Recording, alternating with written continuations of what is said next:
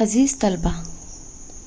एक गाँव था, जिसके करीब ही में एक घना जंगल था। लोग उस जंगल में जाते, लेकिन उस जंगल में एक इलाका ऐसा भी था, जहाँ पर जाने से सभी गाँव वाले डरते थे। गाँव वालों का कहना था कि वहाँ पर भूत है।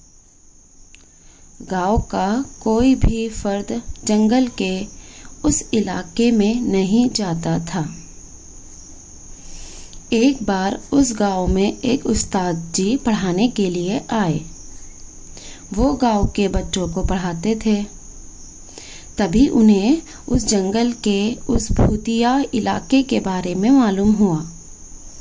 वो डरे नहीं, घबराए नहीं, बल्कि उन्होंने इस बात को लोगों का वहम समझा। एक दिन उस्ताद जी दोपहर के वक्त जंगल की ओर जाने लगे।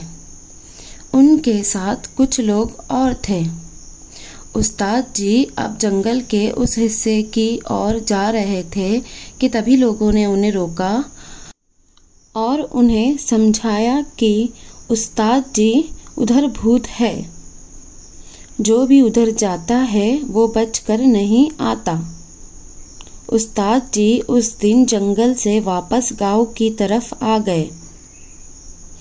अगले दिन उस्ताद जी अपने एक दोस्त, जो पुलिस में था, उसको बुलाया और उसके साथ में कुछ सिपाही भी आए। सभी उस्ताद जी के साथ जंगल के उस इलाके में पहुँचे। तो देखा कि वहाँ पर बहुत सारे लोग जंगल से दरख्तों की कटाई करके दूसरे इलाके में चोरी से लकड़ियाँ बेचते हैं। उस्ताद जी ने उन सभी लोगों को पकड़वाया और सज़ा दिलवाई और इस तरह गाँव के लोगों का वहम दूर किया। दरअसल गाँव के लोगों को जंगल के उस इलाके से दूर रखने के लिए गाँव के ही कुछ लोगों ने अपने ही गाँव के लोगों के वहम पैदा किया कि वहाँ भूत है। अज़ीज़ तलबा उस्ताद जी तालीम याफ्ता थे, इसलिए वो जानते थे कि भूत नहीं होते हैं, बल्कि इंसान का ये वहम होता है। ऐसे ही बहुत सारे वहम आज भी कई लोगों के मुँह मुँह से सुनने को मिलते हैं। जैसे बिल्ली का रास्ता काट जाना, जिससे काम पूरा नहीं होता बाहर जाते वक्त छींक आने से होने वाला काम रुक जाता है।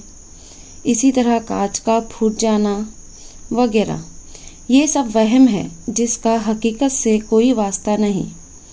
तो प्यारे बच्चों, इस वहम पर मुबनी आज हम एक नज़म का मुताल करने जा रहे हैं, जो सबक नंबर तेरह, एक घोड़ा और उसका साया है।